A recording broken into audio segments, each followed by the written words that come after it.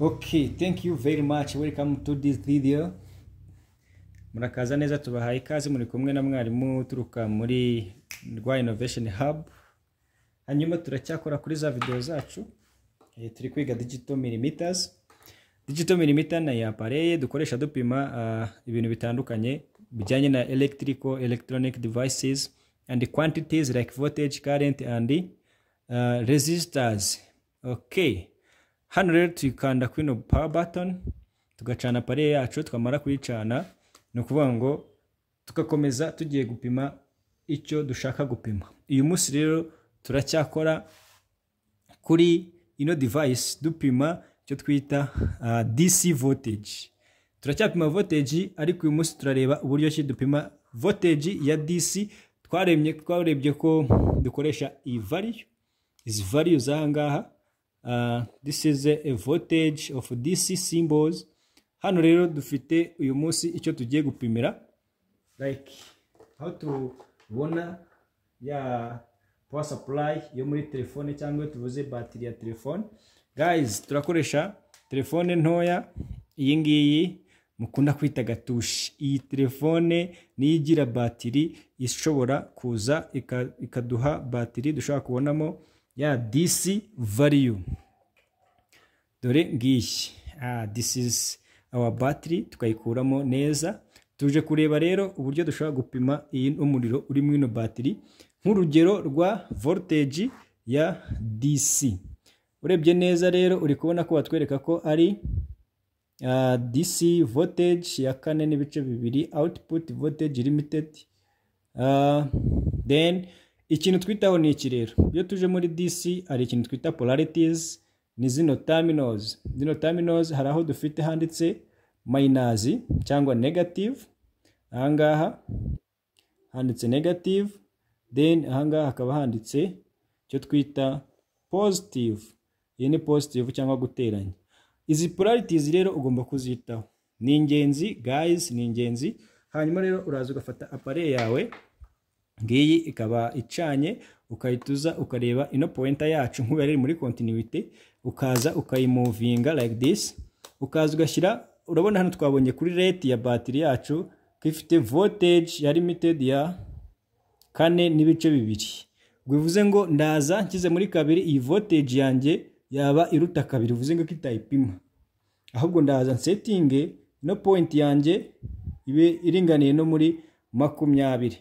Then dore ngiyi no muri screen yanjye aho igarukira ni ukuvuga ngo ngiye gupima voltage irimo makumyabiri. Rero nk'ibisanzwe hano dufite terminals ebyiri izi terminals za multimeters nizo dukoresha dupima hanyuma iyi ngiyi itukura tuyishyira kuri positive cyangwa plus iyi ngiyi y'umukara tukayishyira kuri negative nk'uko twabibonye muri video zabanje izi terminals zacu. Rero nta kindi dukora turaza tugafata ya pare yacu tugapima kuri positive. Ahangaha ni ikimenyetso hari ikimenyetso cyo guteranya uritonda ugakoza kuri uyu mutwe wa batiri like this. Turareba value zigiye kuzamo ukaza ugafata nino black like this ukayikoza kuri negative ukazikorezaho cya rimwe like this.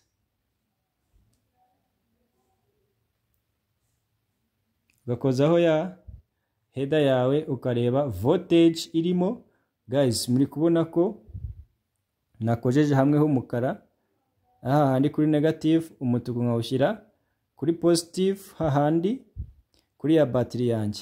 Hanyuma urabona voltage urebye neza muri apareye ni gatatu n'ibice mirongo ine na bitatu DC voltage. Ni uku nguku rero dushobora gupima ya voltage yacu ya DC volt hari urundi rugero tugiye gukoresha dupima ino uh, apare dupima ya voltage yacu ya DC hano turapima amabuye dukunda gukoresha muri ya device yacu dukoresha tu control our television.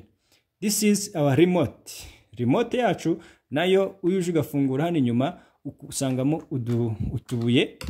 Utu tubuye natwo ni urugero rwiza dushobora kubona mo uh, DC uraza ukagakuramo igihe ugapimira voltage isigayemo ukadukuramo tubari tubiri naho waba ufite kamwe ushobora kugakoresha then ukaza ugafata ya pareye yawe. Guys ugafata pareye yawe ngiyi warangiza gufata pareye yawe iracyasetinze muri ya makumyabiri voltage then turapima gute rero. Ufata zino terminals izi ngizi ya black urebye rino buye ryacu naho dc guys iba inotinze hano tugira negative. Hano tukagira positive. Hano hejuru ni ho tuba dufite ya positive. Hano hasi ni kuri negative. Rero uraza upime ibuye ryawe like this. Urakoza negative handi kuri minus.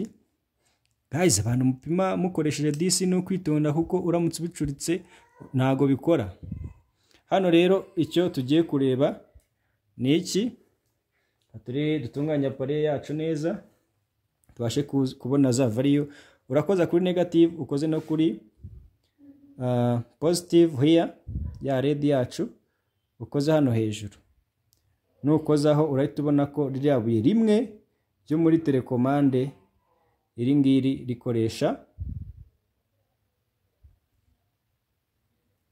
rikoresha voltage ya rimwe n'ibice bitandatu. Nk'iyi dufite niryo mirongo itandatu na bitanu niryo ririmo. Reka duhinyuze turebe ibuye rya kabiri. Dore ngiri ryo napimye dore ngiri irindi tugiye gupimira rishyashya. Guys dore ahangaha uraza ugashyira kuri negative like this negative and and positive. Hanyuma uri kubona za value zacu neza aya mabuye yacu aracyari mashyashya. Arimo voltage yacu ingana na rimwe n'ibice mirongo itandatu na bitanu. Ibi rero ni uburyo dushobora gukoresha uh, digital multimeter yacu dupima icyo twita DC voltage. DC voltage is direct current here. Direct current source of voltage. Hano ni ho tuyipimira mu gihe twabonye ko ahangaha ariho dupimira AC like this AC voltage. Hanyuma turaje tubereke uburyo dushobora gupimisha iyi appareil yacu current muri next video. Uh, my dear followers my dear student my dear colleague and you have to make sure this uh, course is very clear. And thank you for watching. Thank you for your support.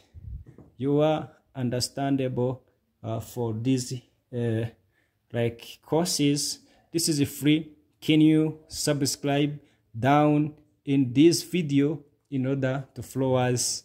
Like uh, if you like our video click on like click on the comment click on the subscribe and share our videos. Thank you very much. Mwari kumwe na rwa innovation hub